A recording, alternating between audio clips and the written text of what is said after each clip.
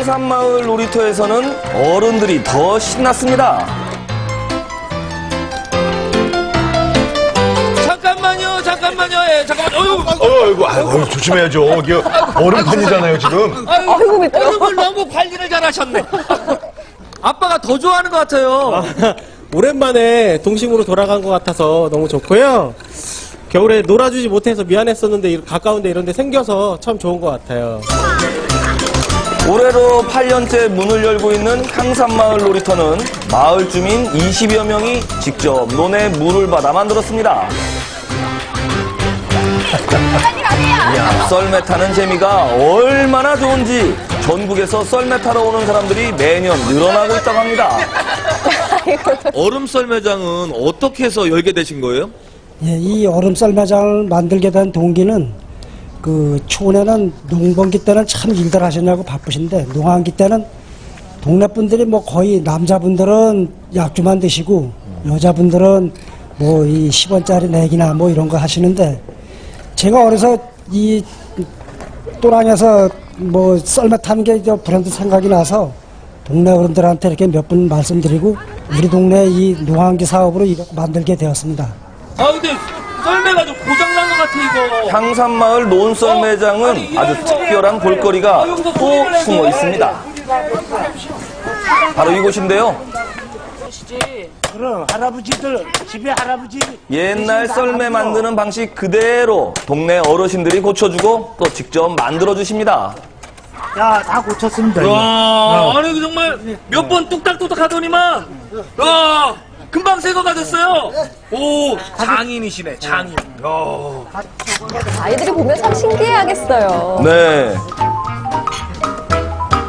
마을 어르신들의 옛날 썰매 만드시는 모습이 아이들에게는 참 신기한가 봅니다. 네. 도심에서 못 봤던 모습이죠, 이런 것들이 다. 그렇죠. 옛날은 이렇게 만들어가지고 여기 여기다가 철사를 이렇게 대가지고 그때 이거 망치도부터 돌멩이를 두드려서 그걸 불게다가 이제 이렇게 철사를 입혀가지고 철사를 이렇게 구분이 붙여가지고선 이렇게 만들어. 그래도 이렇게 직접 수리하고 만든 썰매를 우리 어린이들이 재밌게 타니까 참 좋으시죠? 그 기쁜 마음을 만들 못하지 옛날 그 생각이 그래.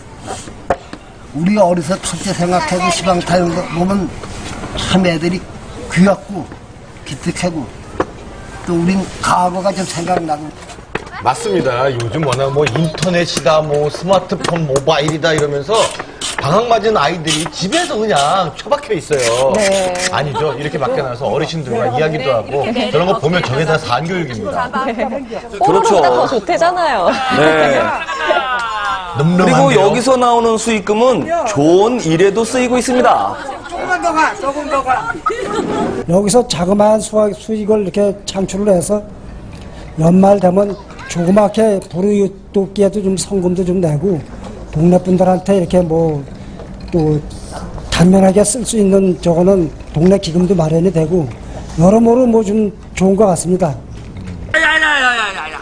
야야야야. 아 이거 뭐 썰매 타는 거 재밌는 것도 한두 시간이지. 너무 많이 타니까 팔에 힘도 없고 아유, 날도 춥고 아 그냥 집이나 갈까? 아유.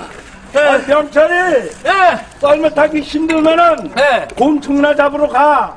에이 이렇게 추운데 무슨 곤충 있어요?